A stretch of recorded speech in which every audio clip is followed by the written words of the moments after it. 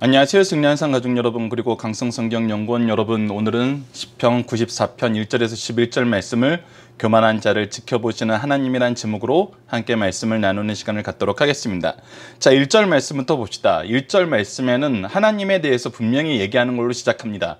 여호와여 복수하시는 하나님이여 라고 얘기합니다.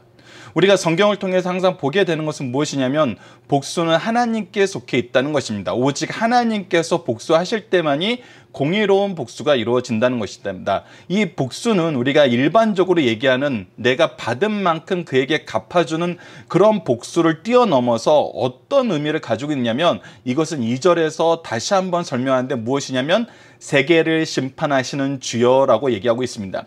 즉 하나님께서 복수하신다는 것은 무엇을 얘기하는 거냐면 하나님께서 모든 선악을 심판하시는 참된 심판자란 겁니다. 이 세계의 모든 것이 하나님의 통치와 하나님의 심판 안에서 벗어날 수 없다는 것입니다.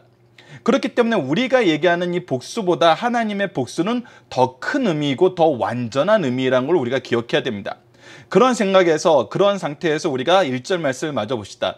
여호와여 복수하시는 하나님이여 복수하시는 하나님이여 빛을 비추소서라고 얘기합니다. 분명히 얘기, 우리에게 먼저 소개되는 것이 무엇이냐면 복수하는 하나님이여 복수하셔서 우리의 억울함을 풀어주소서라고 이렇게 기도하지 않고 복수하시는 하나님이여 복수하시는 하나님이여 간절히 두 번 반복해서 부른 다음에 무엇을 달라 그러냐면 하나님의 빛을 비추어 달라 그러는 것입니다. 그래서 복수는 무엇이냐면 하나님의 빛이 드러나는 겁니다. 하나님의 빛이 선포되는 것입니다. 하나님의 빛 앞에서 만물이 무릎을 꿇고 그의 통치와 그의 심판의 어미함을 받아들이고 그 안에서 유구무원하게 되는 것입니다. 자기를 변화할 수 없, 이 하나님께서는 죄악의 모든 것을 밝히 드러내시고 공정하게 의롭게 심판하신다는 것입니다. 그래서 2절에서는 어떻게 얘기하냐면 세계를 심판하는 주여 일어나사 어떤 자들을 교만한 자들에게 마땅한 벌을 주소서라고 얘기합니다. 자, 이것을 통해서 우리가 볼 수 있는 것은 무엇입니까? 하나님의 이 심판, 하나님께서 복수하시는 대상자는 어떤 자들이다? 바로 교만한 자들이다라는 것입니다. 이 교만한 자들의 특징에 대해서 이제 3절부터 7절까지 계속해서 얘기합니다. 그래서 교만한 자의 특징을 우리가 3절부터 보도록 합시다. 여호와여 악인이 언제까지 악인이 언제까지 개가를 부르리까? 이들은 악을 행하고 그들의 악이 성취된 것을 보고 기뻐하며 자기의 승리를 외친다는 것입니다. 하나님께서는 심판하시는 하나님입니다. 빛으로 이 땅을 비추시는 분이에요. 그 하나님은 이 빛으로서 복수하시는 분입니다. 빛으로서 심판하시는 분입니다. 그러나 이 빛 앞에서 악을 행하는 자들이 무엇이라고 여기냐면 자신들이 승리했다고 생각하는 것입니다. 즉 무엇을 이겼다는 것입니다. 이들의 본론적인 부분은 뭐냐면 우리가 하나님을 이겼다라고 얘기하는 것입니다. 그래서 4절 말씀을 보면 그들이 마구 짓거리며 오만하게 떠들며 죄악을 행하는 자들이라고 합니다. 하나님의 통치를 모르고 우리들이 하나님을 이겼다. 우리가 하나님보다 더 좋다. 그러면서 우리가 행하는 것은 무엇이든지 결과적으로 우리에게는 선이 된다라고 얘기하면서 죄악을 행하고 있다는 것입니다. 이들이 뭐 하는 거예요? 지금 다 자만에 있다는 것입니다. 교만한 자들은 다 자만 속에 빠져 있는 자들이라는 것입니다. 이들의 특징은 마구 짓거리고 오만하고 죄악을 행하면서도 자만 속에 살고 있다는 거예요. 계속해서 봅시다. 5절 여호와여 그들이 주의 백성을 질밟으며 라고 얘기합니다. 이들이 하나님을 두려워할 때가 있었습니다. 하나님의 심판의 어미하심을 볼 때가 있었습니다. 그들이 하나님 앞에 무릎 꿇을 때가 있었습니다. 그러나 이들은 이것을 빨리 잊어버리고 자신들이 하나님보다 낫다고 생각하고 자기들의 오만과 죄악을 행하는 것을 자신의 자만 속에서 행하면서 무엇하기를 즐거워하냐면 하나님의 백성을 짓밟기를 좋아한다는 것입니다. 하나님의 소유를 공고하게 하는 걸 즐거워한다는 것입니다. 이들을 괴롭힘으로 자기가 누구보다 더 높고 누가 통치한다고 얘기하고 싶으냐면 내가 하나님보다 높고 이 세상은 내가 통치하고 있다라고 얘기하고 싶어 하는 것입니다. 이것이 교만한 자들의 특징이라는 것입니다. 어리석은 자들의 특징이라는 것입니다. 이들은 결국 무엇으로 이어지냐면 6절과 7절입니다. 과부와 나그네를 죽이며 고아들을 살해하며 여러분들 전 세계 어느 법에서도 과부와 나그네, 고아들을 살해하는 것에 대해서 어떻게 얘기하고 있습니까? 그것은 잘못됐다고 얘기하고 있습니다. 이것은 하나님의 일반적인 은총 안에서 우리가 경험하게 되는 하나님의 질서입니다. 성경 말씀이 없어도 이것은 우리의 양심의 법, 우리의 도덕의 법 안에서 지켜야 된다는 것을 깨닫게 하신 것입니다. 그런데 이 교만한 자들, 자만하는 자들, 오만한 자들, 마구 짓거리면서 죄악 행하기를 부끄러워하지 않는 자들은 결국 무엇을 하냐면 자기보다 약한 사람, 자기가 돌봐야 되는 사람들까지도 살해하면서 자기의 배를 채우기를 즐거워한다는 것입니다. 그래서 영어 속담에서 dog eat dog world라고 얘기하는 것처럼 개가 개를 잡아먹는 개싸움이 나타나는 약한 자들은 내가 잡아 물어 뜯어 죽여도 괜찮은 세상이라는 것이 바로 이 세상의 악한 모습의 방향이라는 것입니다. 하나님의 심판 앞에서 하나님의 빛으로 살지 않는 자들은 바로 이러한 길을 가게 되고 이러한 것을 즐기는 사람이 된다는 것입니다. 즐기는 모습이 바로 7절에 나타납니다. 말하기를 여호와가 보지 못하며 야곱의 하나님이 알아차리지 못하리라 하나이다.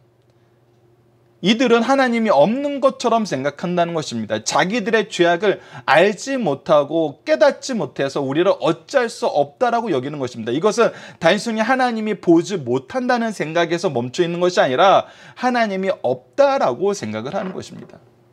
하나님이 없기 때문에 내가 악을 행하는 것이 두렵지 않다는 것입니다. 이것이 교만한 자들의 특징입니다. 악을 행하는 자들의 특징이고 악을 행하면서도 마구 짓거리며 오만하며 자만한 자들의 특징입니다. 이들은 하나님이 없기 때문에 내가 악을 행해도 악을 행해서 이기기만 하면 내가 다른 사람보다 강해지면 내가 정의라고 생각합니다. 이것은 성경이 가르쳐 주지 않더라도 우리가 세상에서 뭐라고 얘기합니까? 세상 역사는 승자의 역사라고 얘기하면서 이기는 것이 성공하는 것이고 이기는 것이 의로운 것이야 라고 얘기하는 이런 역사적인 관점을 우리가 가지고 있지 않습니까? 근데 이런 관점이 어디에서 나왔냐면 하나님을 없다라고 생각하고 하나님 앞에 있다고 생각하지 못하고 하나님의 심판을 보지 못하고 교만하였기 때문에 생긴 어리석은 관점이라는 것입니다. 그래서 8절에 분명히 얘기합니다. 백성 중에 어리석은 자들아 너희는 생각하라 무지한 자들아 라고 얘기합니다. 교만한 자들 너희들은 결국 어떤 자들이냐면 어리석은 자들이고 무지한 자들이라고 합니다. 너희들이 언제나 지혜를 가질 수 있을까라고 얘기한다는 것입니다. 분명히 얘기합니다. 창조의 하나님께서는 이 세상을 통치하시고 구원과 심판을 이루신 하나님께서는 어떤 분이시냐면 구절 말씀입니다. 귀를 지으시니가 듣지 아니하시랴 눈을 만드시니가 보지 아니하시랴 귀는 하나님이 듣게 하기 위해서 만드셨고 눈은 보게 하기 위해서 만드셨다는 거예요. 우리가 듣고 보는 것은 하나님의 은총 안에서 얻는 기능이라는 거예요. 그 기능을 주신 분이 듣지 못하고 보지 못할 뿐이 아니라는 거예요. 너희들이 창조주 하나님을 바로 이해하지 못하고 너희들이 하나님의 심판과 하나님의 빛을 너희들이 깨닫지 못하기 때문에 어리석은 생각에 빠져서 무지한 생각에 빠져서 그릇된 길로 가고 있다는 것입니다. 이 무식한 교만한 자들아라고 얘기하는 것입니다. 10절 무 백성을 징벌하시는 이 곧 지식으로 사람을 교훈하시는 이가 징벌하지 아니하시냐 바로 빛을 비추신다는 것은 무엇이냐면 하나님의 지식으로 사람을 교훈하셔서 하나님의 빛의 길이 의의 길이 정의의 길이 무엇인지 깨닫게 하신다는 거예요. 하나님이 싫어하시는 것이 무엇이고 하나님이 좋아하시는 것이 무엇인지 분명히 그의 지식으로 우리를 교훈하셔서 보시는 분이 심판하시는 분이라는 것입니다 세계를 심판하시는 주를 너희들이 보는 것이 지혜라는 것입니다. 그의 말씀을 듣고 그의 말씀을 순종하는 것이 지혜라는 것입니다. 왜 우리가 하나님을 의지해야 됩니까? 11절 봅시다. 여호와께서는 사람의 생각이 허무함을 아시느니라. 여러분들 이 이후의 말씀은 우리가 징계 받는 것이 얼마나 하나님 안에서 사랑 가운데 있는지 우리를 죄악으로 달려가지 못하게 막으시고 되돌이키게 하시는 것이 하나님의 사랑임을 보여주면서 다시 한번 하나님의 구원과 심판이 분명함을 11절 이후 말씀에서 우리에게 다시 얘기해 줍니다. 그러면서 11절에서 오늘, 오늘 본문 말씀에서 결론적으로 무엇을 얘기하냐면 사람의 생각은 허무함을 하나님께서 아신다는 것입니다. 악인들의 생각도 허무하지만 우리 하나님의 백성된 자들이 하나님을 떠나서 생각한 것도 결국은 허무하게 끝날 뿐임을 하나님께서는 아셔서 우리에게 빛을 비추시고 우리를 때로는 심판하시고 구원하셔서 하나님의 뜻 안에서 살게 하신다는 거예요. 하나님의 말씀 안에서 살게 하신다는 거예요. 하나님의 임재 앞에서 살게 한다는 것입니다. 이것이 하나님의 사랑임을 알아야 되고 하나님의 통치임을 알아야 되고 하나님의 능력임을 알아야 되고 우리가 앞으로 경험할 하나님의 구원과 심판임을 깨달아야 된다는 것입니다. 이것을 항상 우리 삶 속에 우리 마음속 깊이 두고 이것이 중심이 된 삶을 살아야 된다는 것입니다. 여러분들 오늘 다시 한 주 시작하는 시간에 다시 한번 강조합니다. 시편 말씀이 우리에게 계속 가르쳐 주고 강조하는 것이 무엇입니까? 하나님의 구속사입니다. 하나님의 구속사를 얘기할 때 뭐부터 얘기합니까? 하나님의 창조를 얘기합니다. 하나님의 통치를 얘기하고 하나님의 구원과 심판이 있음을 분명히 우리에게 얘기합니다. 이 구속의 역사 안에서 이루어지는 하나님의 구속사적인 역사가 우리에게 어떻게 임하는지 분명히 가르쳐 주고, 즉, 우리에게 빛을 비춰 주셔서 하나님의 뜻 안에서 살게 하신다는 것입니다. 우리를 통치하시고 지도하시고 감독하셔서 하나님의 뜻 안으로 이끌도록 우리를 다시 끌어주신다는 것입니다. 이때 우리가 해야 되는 것은 무엇이냐면 순종이라는 것입니다. 하나님께 의지한다는 것입니다. 이것을 우리가 기억해야 됩니다. 이것을 우리의 삶의 자세로 여겨야 됩니다. 교만하지 마십시오. 교만은 어리석은 것입니다. 본문 묵상하기를 통해서 간단하게 다시 한번 복습해 봅시다. 하나님은 누구에게 복수하시는 분이신가요? 바로 어리석은 자에게, 교만한 자에게, 악인에게 복수하시는 분입니다. 그들을 심판하시는 분입니다. 그들뿐만 아니라 온 세계를 심판하시는 분입니다. 악인들의 특징은 무엇인가요? 그들은 마구 짓거리고 오만하게 떠들고 죄악을 행하는 자만자들입니다. 그들은 하나님의 백성을 괴롭히면서 그들의 우리를 통해서 자신들이 하나님보다 높음을 보여주고 싶어 하고 보여줬다라고 생각합니다. 그러면서 하나님이 주신 능력과 힘으로 하나님이 돌보라는 과부와 나그네와 고아들을 돌보기보다는 이들을 살해하면서 자기네 배를 채우기를 즐거워합니다. 그러면서 뭐합니까? 하나님이 못 본다. 즉 하나님이 없다라고 생각한다는 것입니다. 그러나 참된 지혜자는 어떤 자들입니까? 하나님의 뜻을 아는 것입니다. 하나님의 빛 안에서 하나님의 뜻과 함께하는 사람들입니다. 하나님이 보시고 들으심을 알고 만물을 통치하시고 만물의 선악간에 심판하시는 분임을 우리가 알아야 된다는 것입니다. 전지전능하신 분임을 알아야 된다는 것입니다. 무백성을 징벌하시고 지식으로 교훈하시는 분을 우리가 인정해야 된다는 것입니다. 그리고 우리의 인간의 연약함을 고백할 줄 알아야 된다는 것입니다. 인간의 결국은 허무밖에 없다는 것을 알아야 된다는 것입니다. 자, 본문의 중심 사상을 봅시다. 시편 94편의 표제가 없이 저자, 저작 시기, 저작 동기를 알 수 없습니다. 그러나 악이 편만한 시대에 교만한 자, 오만한 자, 악을 행하는 자들로 인한 고통 속에서 하나님께 호소하는 기도의 시임을 우리는 내용을 통해서 확인할 수 있습니다. 70인 역에서는 다윗의 시 안식 후 넷째 날이라는 표제가 있습니다. 시편 94편은 내용상 다윗의 시와 비슷한 용어와 사상이 많으며 선민들이 포로에서 귀환한 후 수룹바벨 성전에서 수요일에 기도한 시로 보고 있습니다. 시편 94편의 구조는 다음과 같습니다. 오늘 본문 말씀이 바로 하나님 하나님에 대한 시인의 호소와 죄인들에 대한 논죄입니다. 그리고 우리가 앞으로 볼 것은 내일 말씀을 통해서 확인할 것은 하나님께 징계를 받는 자가 받을 복, 즉 하나님께서 그 사랑하시는 자들이 죄악으로 가지 않도록 징계를 하시는데 이 징계가 오히려 우리에게 복이라는 것입니다. 그래서 우리가 외부에서 우리를 곤란하게 하고 우리가 환란 가운데 정할 때 우리는 분명히 다시 한번 하나님의 말씀을 우리의 삶 전체를 다시 한번 확인해 볼 수 있어야 됩니다. 이것이 우리가 죄로 인해서 하나님께 징계를 받고 있는 것인지 아니면 우리가 그리스도의 복음 위에서 환란을 겪고 있는 것인지 전자라면 속히 우리는 회개의 길로 들어서야 된다는 것입니다.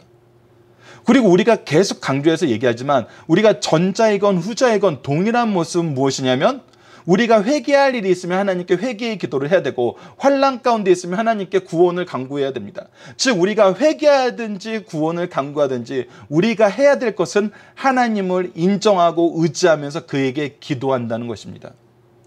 그 부분에선 동일하다는 것입니다. 즉 하나님은 우리에게 기도할 때가 되면은 기도하게 하시도록 우리를 부르신다는 데에서는 동일합니다. 그렇기 때문에 우리는 어떻게 해야 됩니까?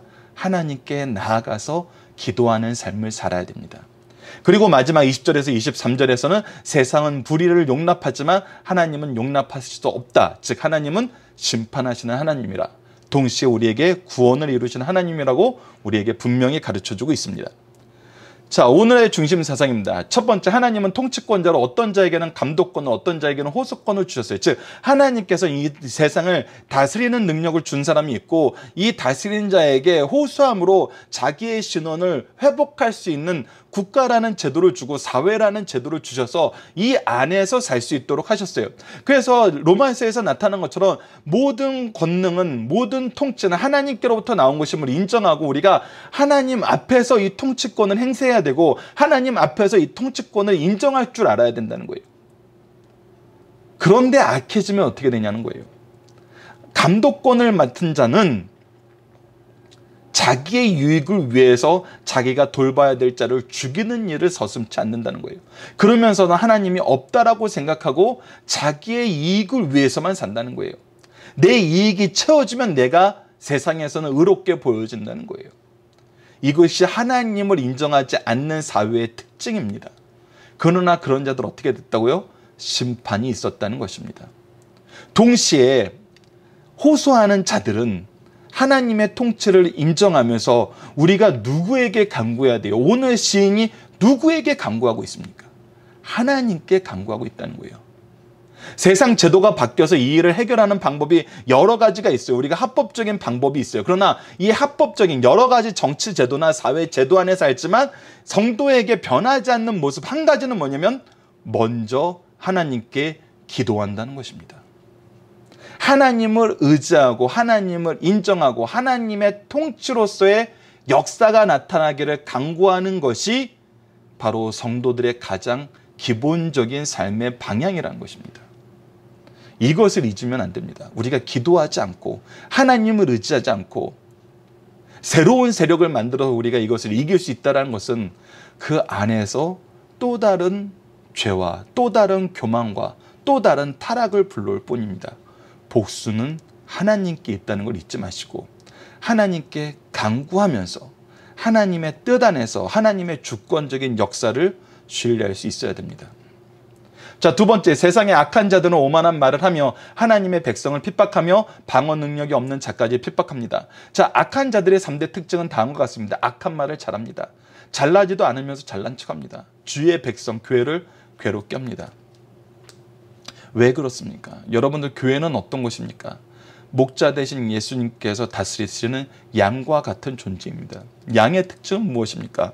공격할 무기도 방어할 무기도 없다는 것입니다.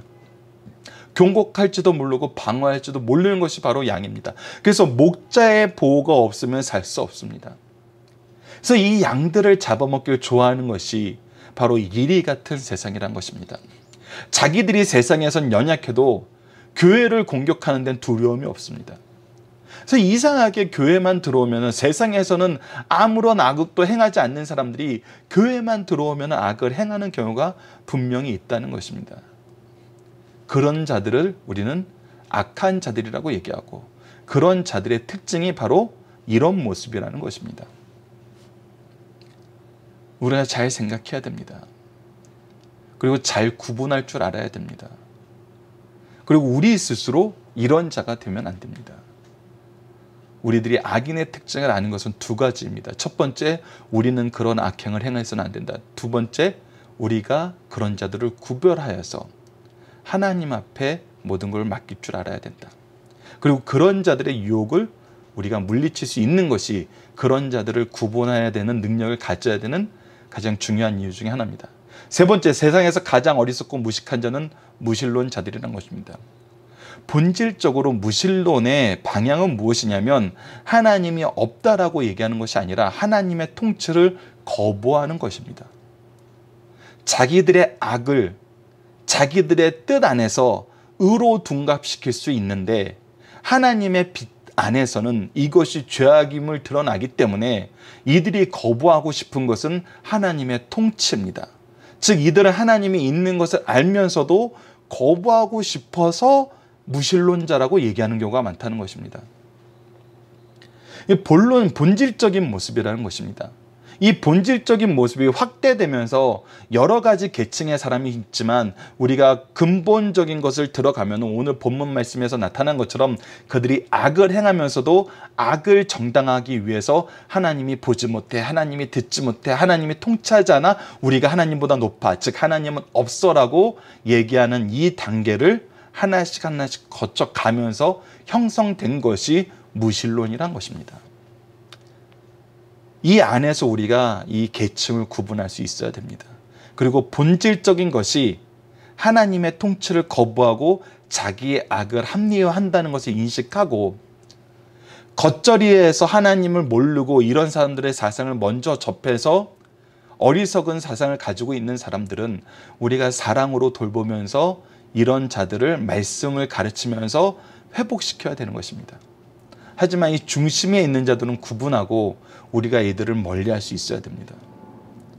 우리가 이 부분에 굉장히 좋은 지혜, 하나님의 지혜, 성령의 역사하심이 필요함을 알고 이 부분도 우리가 기도하면서 준비할 수 있어야 됩니다. 자, 본문 다지기를 봅시다. 시인이 복수를 구하면서 하나님께 구한 것은 무엇입니까? 우리가 1절에서 분명히 봤던 것처럼 빛을 구했습니다. 하나님의 역사, 하나님의 말씀, 하나님의 통치를 구한 것입니다. 복수를 누구에게 맡긴 것입니까? 하나님께 맡기시고 하나님은 이 복수를 무엇을 통해서 이루십니까? 하나님의 심판을 통해서 이루신다는 거 우리가 본문에서 분명히 보는 것입니다. 자, 원수 갚는 것은 누구에게 속하였습니까? 하나님께 속하였습니다. 특히 사무엘상 25장 33절과 39절에서는 이 다윗의 얘기가 나오면서 예전에도 한번 읽어드린 적이 있는데 지금 이 시간도 다시 한번 이 말씀을 읽으면서 보도록 하겠습니다. 자, 사무엘상 25장 33절에는 이 나발이 다윗에게 함부로 대하고 선을 악으로 갚는 것에 대해서 다윗이 그의 부하들을 이끌고 그의 동료들을 이끌고 복수하러 갈 때 그의 부인 아비가엘이 이것을 말리면서 얘기하는 것입니다. 그 그리고 이 얘기에 대해서 다윗이 반응한 내용이 바로 사무엘상 25장 33절입니다. 또 내 지혜를 칭찬할지며 또 내게 복이 있을지로다. 오늘 내가 피를 흘리는 것과 친히 복수하는 것을 내가 막았느니라 라고 얘기하면서 아비가엘을 통해 복수하는 길을 막은 것을 오히려 칭찬합니다. 그리고 나서 39절에 나발이 죽었다는 소식에 이렇게 얘기합니다. 나발이 죽었다함을 듣고 다윗이 듣고 이르되 나발에게 당한 나의 모욕을 갚아주사 종으로 악한 일을 하지 않게 하신 여호와를 찬송할지로다. 즉 이 부분에 대한 복수를 누가 이루셨다는 거예요? 하나님이 이루셨다는 거예요. 즉 복수를 내가 이뤘으면 나는 악을 행할 수밖에 없으나 하나님께서 복수를 이루심으로 나를 악에서 벗어나게 하신 하나님께 감사하는 찬송을 드리는 모습이 바로 이 사무엘상 25장 33절과 39절에 나타난 것입니다. 다윗을 통해서 선언되었던 것처럼 복수는 하나님께 맡겨야 됩니다. 그것이 내가 악에서 벗어나는 길입니다. 이것은 무엇을 통해서 이루어지는 거냐면 하나님의 통치, 하나님의 창조와 통치를 인정할 때 이루어지는 것입니다. 여러분들 악을 행하는 것도 하나님의 창조와 통치를 거부하는 것이지만 복수도 내가 해야 된다는 생각도 하나님의 통치를 거부하는 것입니다. 거부한다는 데서 동일하고 그것이 나타나는 방향이 다른 것인 우리가 인식해야 돼요. 그래서 우리가 하나님의 뜻대로 산다 그러면서 스스로 악으로 가는 어리석음에서 벗어나야 된다는 것입니다. 다윗이 아비가일을 칭찬했던 이유는 바로 그것입니다. 내가 어리석음으로 행할 수 있었는데 네가 지혜로워서 나를 어리석은 데서 벗어나게 했다는 것입니다. 이 말씀 여러분들이 잘 기억하시면서 삶의 기준으로 잘 적용해 주시길 부탁드립니다. 세 번째, 악인들은 구제 대상을 어떻게 대합니까? 그들을 살해하고 그들을 통해서 자기 이익을 취하려고 합니다. 이 적자 생존이란 단어는 우리가 오늘 본문 말씀을 통해서 확인하는 것은 무엇이냐면 하나님의 통치를 싫어해서 생기는 것입니다. 싫어해서 생기는 것이에요. 여러분들이 이것이 현대 사회에서 어떻게 드러나는지 보셔야 됩니다. 하나님이 돌보라고 하는 자들을 돌보는데 다른 이유를 대서 막는 것이 성도들에게 있어서는 안 됩니다. 오히려 우리가 못하는 것을 나라에서 먼저 한다 그러면 우리가 스스로 부끄러워할 줄 알고 이 일을 더욱더 힘써서 도울 줄 아는 사람이 되는 것이 하나님의 말씀 안에서 사는 것일 것입니다. 이 부분도 우리가 본문 적용하기 위해서 좀 더 생각해 보도록 하겠습니다. 6절, 7절의 말씀의 모습은 현재 어떠한 모습으로 나타나고 있습니까? 자, 6절, 7절 봅시다. 과부와 나그네를 죽이며 고아를 살해하며 말하기를 여호와가 보지 못하며 야곱의 하나님이 알아차리지 못하리라 하니라. 우리가 가난한 자들, 연약한 자들의 일터를 빼앗고 이들의 이익을 우리의 이익으로 편입시키는데 뛰어난 능력을 발휘하는 현대 사회의 모습이 얼마나 많습니까? 우리가 속된 말로 골목 상권을 빼앗는 대기업의 행포라는 얘기 우리가 얼마나 자주 듣습니까? 저는 너무나 마음 아픈 얘기 중에 하나가 교회 안에서 얘기하는 게 정말 가난한 자들의 일터를 빼앗고 있으면서 뭐라고 얘기하는 이야기가 나오냐면 대기업이 하면 이걸 더 잘하잖아. 더 돈을 잘 벌어오잖아. 라는 거예요. 그 돈을 더 잘 벌어서 뭐 한다는 것입니까?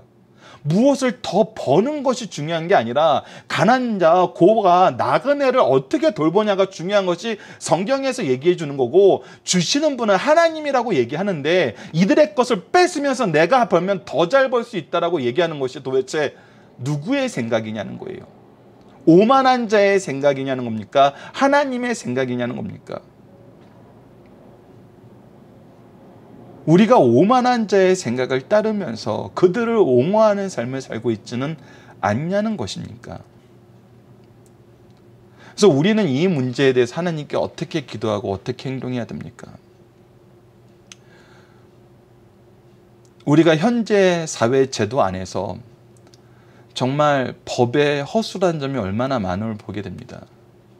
그리고 이 법치가 제대로 지켜지면은 막을 수 있는 일이 많은데 여전히 고아와 가부와 나그네를 핍박하는 자들이 강자라는 이유 때문에 이들에게 협력하는 어리석은 자들의 모습이 많아서 오히려 우리가 제도적으로 이것을 막을 수 있음에도 불구하고 막지 않는 자들이 있는 것을 우리는 알고 있습니다. 때로는 우리가 이들을 약탈하진 않, 않기 때문에 우리는 괜찮다라고 생각할 때도 있습니다. 그러나 이것은 우리가 그들에게 협력하는 것입니다. 우리에게는 하나님께서 이들을 도우라 그러셨지 이들을 방치라고 하지 않았습니다. 그들을 구원하고 그들을 하나님의 은혜로 채우는 것은 우리의 모습입니다. 우리가 정치 경제적인 문화와 교회의 관계를 보면은 교회는 항상 어떤 곳이었냐면 바로 고아와 가부와 나그네들을 돕는 것을 가장 모범적으로 하던 곳이었습니다. 국가가 하지 못하고 국가가 오히려 이들을 약탈할 때 교회는 돕던 곳입니다. 초대교회의 모습을 보십시오. 그리고 여러분 이 세상 역사를 보시면서 이 세상 역사 안에서 교회의 역할을 보십시오. 항상 우리가 세상이 못할 땐 우리가 했습니다. 그러니까 우리가 이 문제에 대해서 하나님께 기도하는 첫 번째는 우리를 사용하여 주소서. 이것입니다. 우리를 사용하여 주소서. 하나님께서는 이 기도 반드시 응답하십니다. 우리를 통해서 연약한 자를 세우시는 역사가 일어납니다. 여러분도 우리를 사용해 주소서 할 때 더 놀라운 기도는 무엇입니까? 더 구체적이고 확실한 응답이 있는 기도는 무엇입니까? 우리 교회, 우리 가정, 나의 직분, 나의 직장, 나의 시간과 재능과 물질. 좀 더 구체적으로 기도하면 기도할수록 하나님께서 우리를 사용하십니다. 그리고 정말 우리가 어찌할 바를 모르는 어찌할 수 없는 정말 거대한 악이 이 일을 행할 때는 어떻게 됩니까? 오늘 기도처럼 하나님의 공의의 빛, 심판, 복수를 우리도 강구해야 됩니다. 반드시 하나님께서 이 기도에 응답하신다는 것입니다. 왜? 이 세상은 하나님이 통치하기 때문에 우리는 이 기도를 하고 이 기도의 응답의 기록을 남겨야 됩니다. 시인이 시편의 기자들이 무수하게 이것을 바라보고 기록에 남기고 성경의 역사가 이 기도의 응답에 대해서 어떻게 기록했는지를 우리가 보고 이미 알았더라면 하나님의 통치에 대한 기록을 우리의 교회에 우리의 가문에 우리의 개인의 역사에 분명히 남겨놔야 됩니다. 그랬을 때 우리의 후손들이 우리의 기도의 제목과 기도에 응답하신 하나님의 역사를 보고 흔들림 없이 빛의 자녀로 살 수 있는 것입니다. 우리는 이것을 계승이라고 얘기합니다. 이 신앙을 계승할 수 있는 우리 승리한산 가족 여러분들, 강성 성경 연구원 여러분들 되었으면 합니다. 이번 주 공동 기도점을 봅시다. 참된 지혜는 하나님의 통치를 아는 것이고 참된 위로는 구원을 소망하는 것이고 참된 기쁨은 예배에 있음을 알게 하여 주소서. 이 모든 말씀이 이번 주 한 주의 말씀이 바로 우리에게 주는 지혜의 역사는 이것입니다. 이것이 우리의 기도의 제목이 되어야 됩니다. 오늘 본문 말씀을 통해서는 하나님의 공의를 신뢰하고 오직 하나님의 참되심이 모든 것을 바르게 하심을 믿게 하여 주소서. 그리하여 복수를 위해 죄를 범하는 것이 아니라 의를 위하여 수고하는 삶, 연약한 영혼을 돌보는 삶을 살게 하여 주소서라고 함께 기도하는 시간 갖도록 하겠습니다. 감사합니다.